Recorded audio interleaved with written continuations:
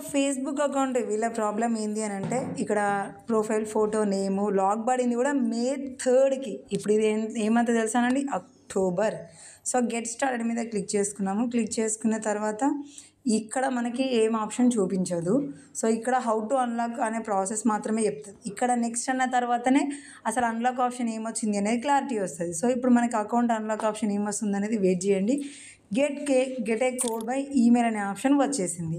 So get code by email అనే option మీద click చేసుకోగానే మనకి ఇక్కడ చూపించే ఈమెయిల్ అనేది వర్కింగ్లో లేదు. సో ఇలా వర్కింగ్లో లేని ఈమెయిల్కి గెట్ కోడ్ అనే ఆప్షన్ వస్తే ఫేస్బుక్ అకౌంట్ని మనం ఎలా ఓపెన్ చేసుకోవాలనే బెస్ట్ ఈజీ ట్రిక్ మీకు నేను చెప్తాను. అలా ఇది కనుక మీరు ట్రై చేసిన అనుకోండి మస్తు తొందరగా వన్ డేలో కూడా మీకు అకౌంట్ ఓపెన్ అయిపోయే ఛాన్స్ హండ్రెడ్ పర్సెంట్గా ఉంటుంది.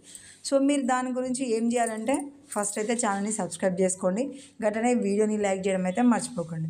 ఫస్ట్ మీరు ఇప్పుడు మనం క్రోమ్లో లాగిన్ అయ్యాం. క్రోమ్లో కాకుండా ఫేస్బుక్ యాప్లో లాగిన్ అవ్వండి. సో ఇది ఉంది కదా ఇప్పుడు మనం లాగిన్ అయ్యాం. ఇలా మినిమైజ్లో దీన్ని తీసేసినా కూడా అది ఆటోమేటిక్గా లాగిన్ అయ్యే ఉంటుంది. చూడండి ఇప్పుడు మళ్ళీ ఫేస్బుక్ యాప్ ఓపెన్ చేయగానే డైరెక్ట్గా మనకి అకౌంట్ లాగిన్ అయ్యి ఉండి దాని ప్రాబ్లమ్ని మెన్షన్ చేస్తుంది. మళ్ళీ ఐడి పాస్వర్డ్ అని అడగదు. కాబట్టి ఫేస్బుక్ యాప్లో లాగిన్ అయ్యండి గెట్ స్టార్టెడ్ మీద క్లిక్ చేయాలి. క్లిక్ చేసిన తర్వాత మళ్ళీ how to unlock your account అంటుంది. సో ఇక్కడ నుంచి మళ్ళీ నెక్స్ట్ అనేసేయాలి.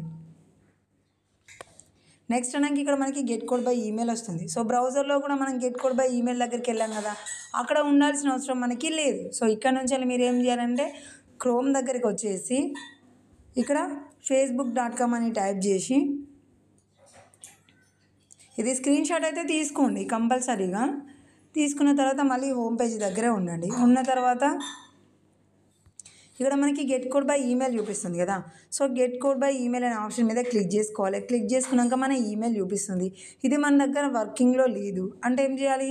సెలెక్ట్ చేసుకొని నెక్స్ట్ అనాలి. నెక్స్ట్ అనగానే ఆ ఈమెయిల్కి వచ్చిన కోడ్ ఎంటర్ చేసే బాక్స్ ఓపెన్ అవుతుంది మనకి ఎలాగ అసలు అది ఈమెయిలే వర్కింగ్లో లేదు కాబట్టి సో ఇలా చూపించినప్పుడు మనం సిక్స్ లెటర్స్ మాత్రమే ఎంటర్ చేయాలి. వేరే విధంగా వస్తే మాత్రం అప్పుడు మనం ఎయిట్ లెటర్స్ని ఎంటర్ చేయాల్సి ఉంటుంది. ఇక్కడ మనకి కన్ఫర్మేషన్ కోడ్ అనేది సిక్స్ లెటర్స్తో మాత్రమే వస్తుంది కొన్ని కొన్నిసార్లు సో ఇది చూసుకుంటూ మనము ఈ ఆప్షన్ పోయేలాగా ట్రై చేయాలి. సో కొన్నిసార్లు మనకి ఈ ఆప్షన్ ఇక్కడ నుంచి వెళ్ళి మనకి తొందరగా పోదు.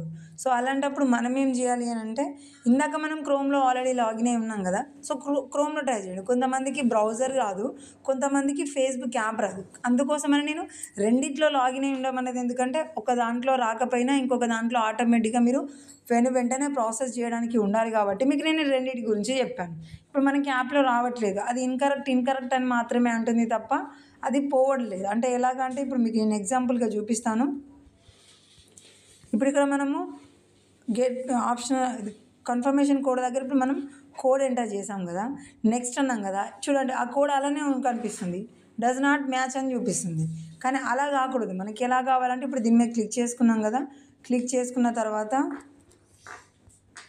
ఇలా ఎంటర్ చేసి నెక్స్ట్ అనగానే ఇగో ఇలా ఎంటీగా రావాలి. ఎంటీగా వస్తే మనకి ప్రాసెస్ అనేది ఈజీ అయిపోతుంది. కానీ ఇక్కడ మనకి యాప్లో ఎలా వస్తుంది? Confirmation code this does not work అని చెప్తుంది. అంతే. కానీ ఇక్కడ మనకి ఆ కోడే పోయింది. అలాంటప్పుడు మనం ఏం చేస్తాము? ఇంకొక కోడ్ ఎంటర్ చేస్తాం ఇలాగ మనం ట్రై చేయాలన్నమాట.